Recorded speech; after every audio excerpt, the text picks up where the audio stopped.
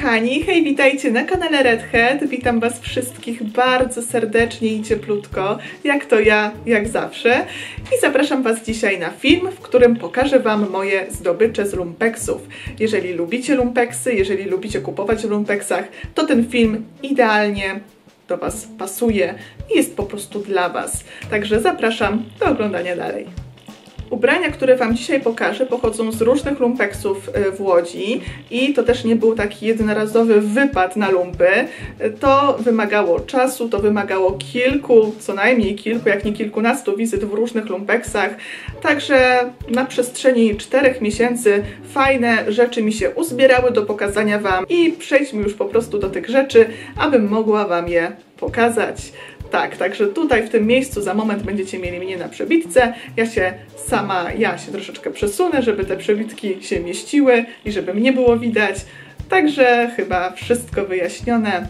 Jedźmy dalej. A pierwsza rzecz to jest ta oto spódnica w kratę. Mini spódnica rozkroszowana w kratę. Ja bardzo długo takiej spódniczki szukałam. O dziwo, w mojej szafie jest mnóstwo sukienek, mnóstwo spódnic, a takiej na dobrą sprawę klasycznej rzeczy nie posiadałam, nie miałam. Teraz już mam, więc się mega cieszę. Ta spódnica kosztowała 6 zł, więc cena była moim zdaniem super. I to jest rozmiar 12. Ja zwykle noszę rozmiar M, ale całe szczęście, e, pomimo tego, że to jest trochę większy rozmiar na metce, e, ona dobra jest na mnie, nie jest za luźna, jest idealna w pasie i wszystko pasuje. Nie mam tutaj e, marki, nie mam tutaj firmy, metka jest wycięta, także nie powiem Wam, co to jest za firma, ale spódniczka bardzo mi się podoba, to jest bardzo klasyczna rzecz, idealna do jesiennych stylizacji. Wiem, że komuś może się kojarzyć trochę infantylnie, z drugiej strony może się też kojarzyć trochę wulgarnie, bo taka spódnica bardzo się kojarzy z uczennicami i wiecie jak to jest. Uczennice takie prawdziwe w szkołach albo uczennice z filmów dla dorosłych. Natomiast y, mi się ona podoba i ja nie widzę, y, mając ją na sobie, nie widzę y, siebie y, ani w roli uczennicy szkoły, ani w roli uczennicy z filmu.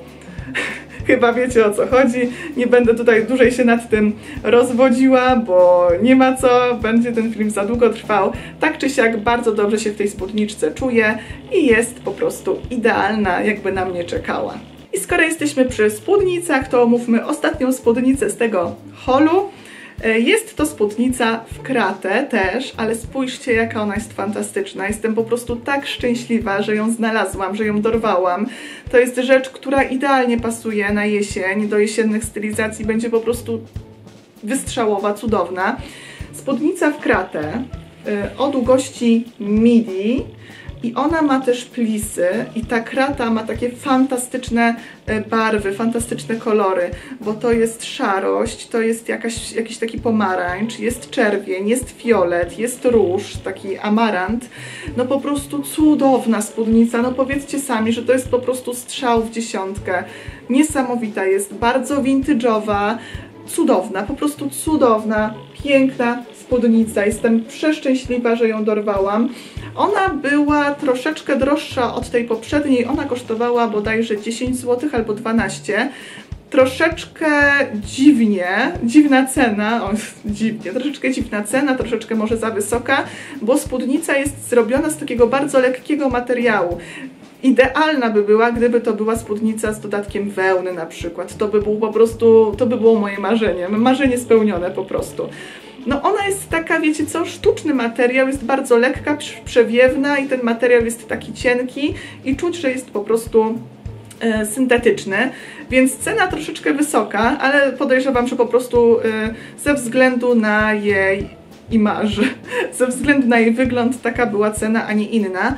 To jest też rozmiar 12, made in e, UK, ale o, 100% poliester, ale nie mam tutaj, słuchajcie, też metki z nazwą firmy, z marką, nie wiem co to za marka. Y, jedyne co Wam powiem, rozmiar 12, ale ta spódnica jest, nawet bym mogła powiedzieć, troszeczkę taka ciasnawa.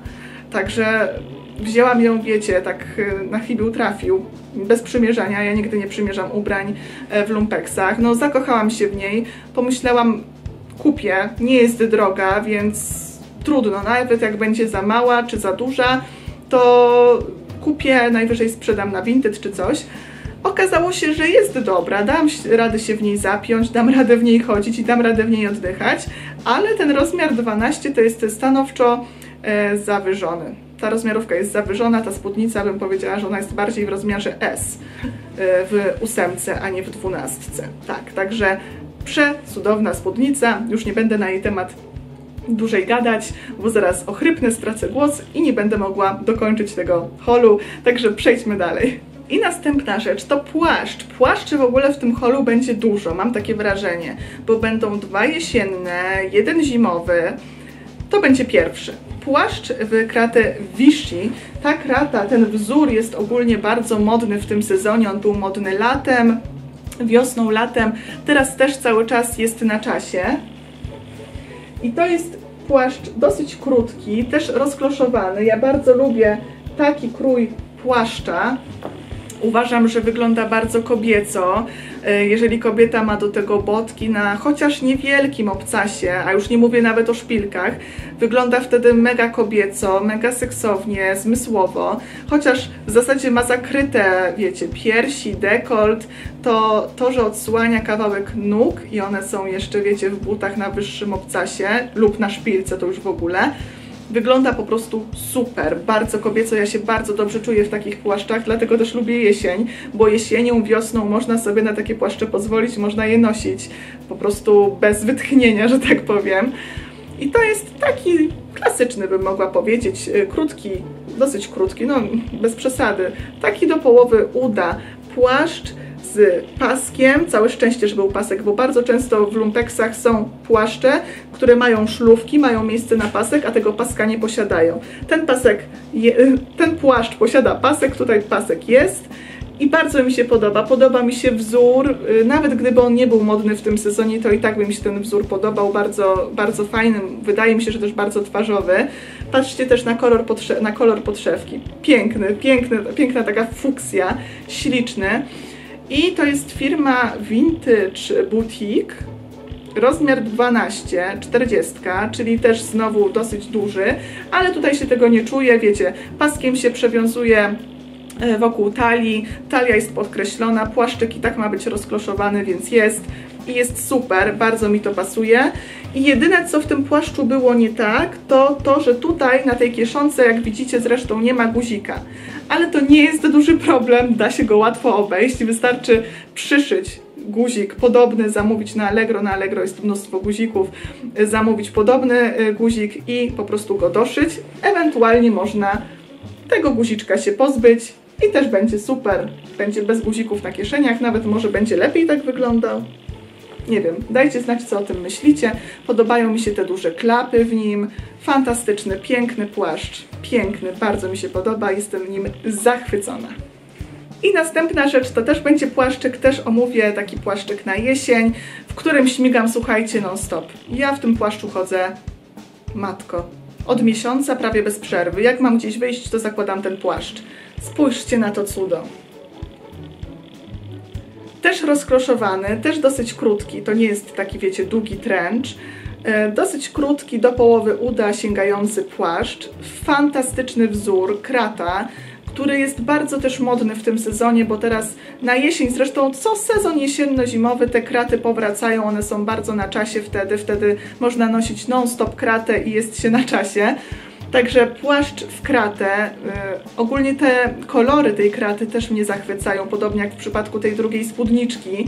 Przepiękny, jak widzicie to jest H&M, rozmiar 38, czyli mój, tak jakby na mnie czekał, w ogóle w stanie idealnym, praktycznie nienaruszonym szok, po prostu szok, że takie rzeczy, że tego typu rzeczy można znaleźć w lumpeksach. Ja do tej pory się nie mogę nadziwić i jestem po prostu w szoku, co wizyta w lumpeksie, jak wychodzę z tego typu rzeczą, w stanie idealnym, bez żadnych plam, bez żadnych dziur, wygląda jak nowa, no po prostu szok, po prostu szok. I słuchajcie, ten y, płaszczyk też ma pasek, tylko że to jest bardziej taka tasiemka, bo nie ma żadnych szlufek, wiecie o co chodzi, po prostu się go przewiązuje.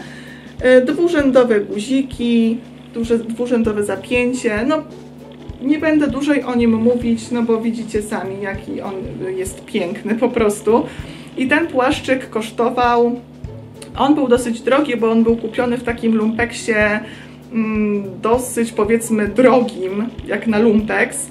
Ten płaszczyk kosztował 30 zł, 32 zł, jakoś tak, no 30 zł, więc zdaję sobie sprawę, że cena dosyć wysoka jak na lumpex, ale wydaje mi się, że jest wart tej ceny na pewno, jak e, był e, zakupiony w sklepie, w H&M, był droższy co najmniej 4 razy, jak nie więcej. I wart jest tej ceny, wart jest tych 30 kilku złotych, także bardzo się cieszę. A jeżeli chodzi o ten poprzedni płaszczyk, chyba nie powiedziałam Wam ceny, on kosztował 15 złotych, tak.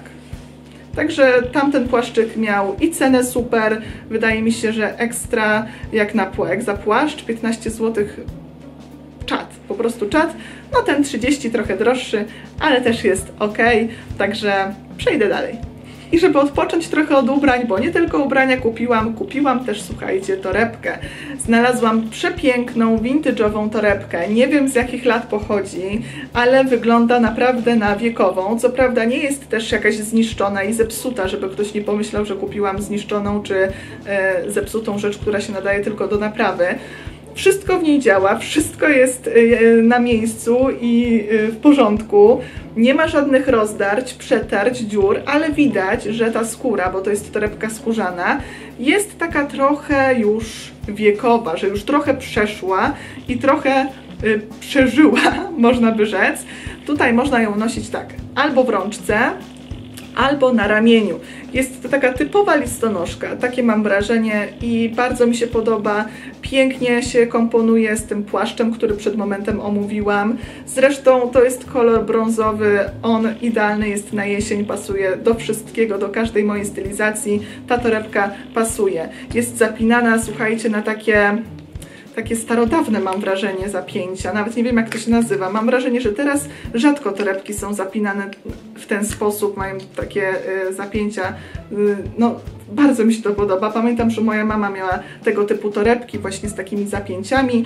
Ona ma, tutaj nie będę Wam pokazywała, bo jest burdel, y, ma dwie przegródki, tutaj ma dwie kieszonki, Także super. Jestem zachwycona tą torebką i w ogóle to, że to jest skórzana torebka, no to wydaje mi się, że ona y, co prawda przeszła sporo, ale przejdzie jeszcze więcej. Jest przepiękna. Jeszcze tutaj z tyłu ma kieszeń. I co jest ważne, ta torebka kosztowała 7 zł.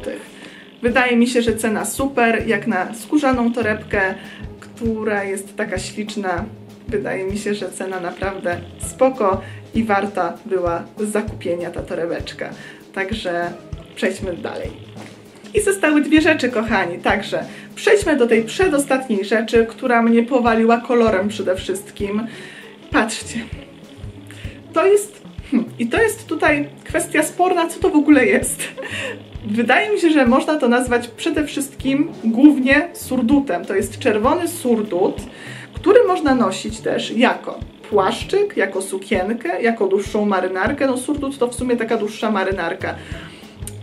Dowolność. I ja uwielbiam takie ciuchy, z którymi można kombinować. Można ten surdut ala sukienkę nosić do leginsów, takich skórzanych na przykład, bardzo to widzę.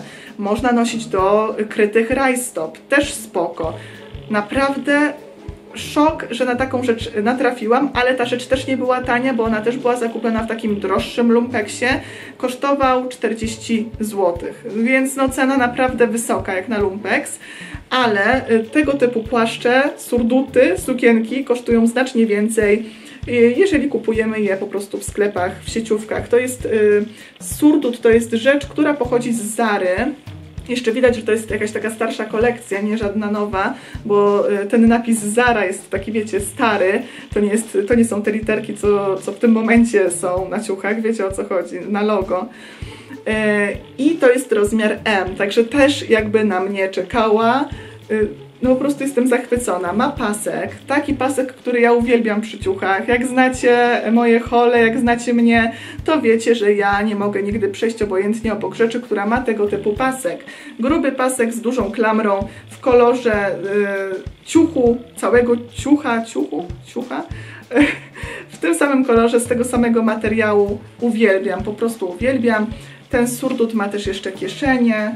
Jest dosyć krótki, więc wydaje mi się, że jak na sukienkę może być na mnie za krótki, chociaż do kryjących rajstop da się to obejść. Myślę, że będzie spoko.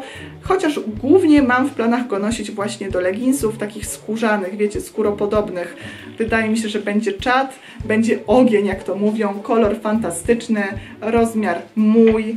No po prostu zachwyt. Jestem zachwycona tą rzeczą, naprawdę czat. Po prostu tak się cieszę, że go znalazłam. To jest chyba rzecz, która mi się najbardziej podoba z całego tego holu. Takie mam wrażenie. I przyszedł czas na ostatnią rzecz. Będzie to płaszcz, zimowy płaszcz z wełną, który pochodzi też z Zary w rozmiarze M. No słuchajcie, rozmiar M, także też mój zachwycił mnie, bo on jest w kolorze granatowym. Kolor granatowy idealnie pasuje do rudych włosów. Może teraz e, wydaje Wam się on czarny, bo to jest taki ciemny granat, ale to jest granat. E, granatowy kolor idealnie komponuje się z rudością, z rudymi włosami, bardzo pasuje do rudowłosych osób, także już to mnie zachwyciło. Zachwycił mnie w ogóle krój, taki męski krój płaszcza, chociaż to jest e, damski płaszcz, od razu uprzedzam, to jest damski płaszcz, nie kupiłam męskiego odzienia. To jest damski płaszcz. E, podobają mi się te duże klapy tutaj. No przepiękny, po prostu aż się zacinam. Jest przecudowny. Jak powiedziałam, jest z domieszką wełny i zachwyca mnie. Ma kieszenie. Jedyne co nie zachwyca mnie w tym płaszczu i nie podoba mi się, to guziki. Ale słuchajcie, mam pewien pomysł. Powiedzcie mi, co myślicie o czymś takim, żeby do tego płaszcza doszyć guziki złote, które można zakupić na Allegro. Mówię, na Allegro jest mnóstwo guzików, yy, bo już patrzyłam. Można zakupić guziki złote i doszyć do tego płaszcza. Wtedy będzie super yy, taki efekt vintage'owy, ale też e, bardzo taki płaszcz idealny właśnie na jesień na zimę. Jakoś tak widzę ten granat ze złotem, połączenie, bardzo mi się podoba to połączenie w ubraniach tych dwóch kolorów. Złote guziki albo, co jest w tym momencie mega modne i też o tym myślałam, czy by nie przyszyć do tego płaszcza, który jest taki, wiecie, toporny, on jest taki duży, jest taki męski, czy by nie przyszyć do tego płaszcza guzików biżuteryjnych, które też teraz są bardzo na czasie, można je znaleźć w wielu ciuchach, w sieciówkach, wiecie, z jakimiś takimi e, kamyczkami e, przezroczystymi czy fioletowymi, jakieś takie kwiatki, takie, wiecie, duże, ciekawe, oryginalne, biżuteryjne guziki.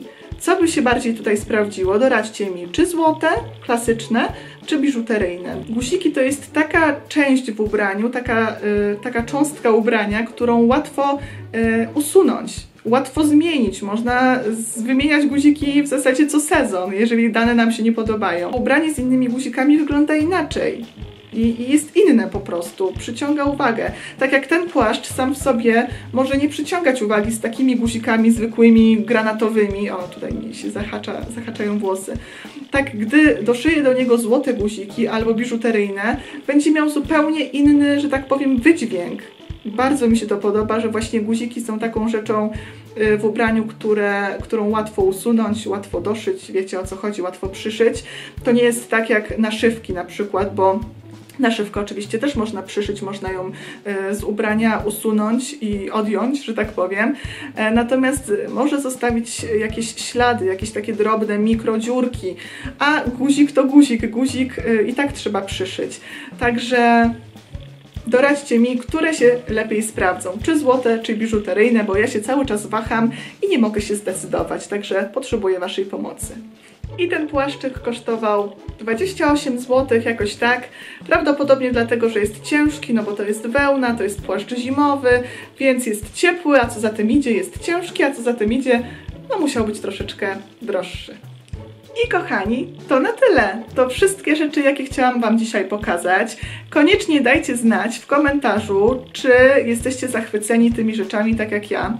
Czy też uważacie, że upolowałam fantastyczne łupy, upolowałam łupy, że znalazłam fantastyczne perełki, że po prostu, no, no cudowne są te rzeczy. No nie mogę się na zachwycać, nie mogę się przestać zachwycać nimi i, i mam wrażenie, i mam ochotę nosić je non stop, zresztą tak się dzieje, bo z kilkoma rzeczami się po prostu nie mogę rozstać i non-stop je noszę. Jestem zachwycona po prostu i nie mogę się doczekać, aż przyjdzie czas, przyjdą pory takie, które pozwolą mi na założenie na przykład tylko tego surdutu właśnie z leginsami, będzie w miarę cieplej, no na przykład na wiosnę, wiecie o co chodzi. No po prostu podobają mi się te rzeczy, zachwycona nimi jestem.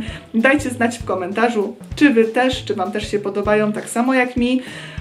No i kochani, to na tyle. Dziękuję Wam za uwagę, dziękuję Wam za to, że poświęciliście czas, że obejrzeliście ten film. Jeżeli jeszcze nie subskrybujecie mojego kanału, to zróbcie to, naciśnijcie dzwoneczek, bo wtedy będziecie na bieżąco z moimi filmami, będziecie mogli podziwiać, co kupiłam, albo nie podziwiać, co kupiłam, bo może nie wszystkim się podobać to, co kupuję. Wiadomo. Gusta są różne i nie będę się dłużej rozwodzić e, nad tym i nie będę dłużej gadać bez sensu, bo znowu ten film będzie trwał wieki. Także przysyłam Wam buziaczki, całusy, żegnam się z Wami, macham rączką i do następnego razu, do następnego zobaczenia, usłyszenia. Trzymajcie się cieplutko, bądźcie zdrowi, papa, pa. całusów. Jeszcze raz 102.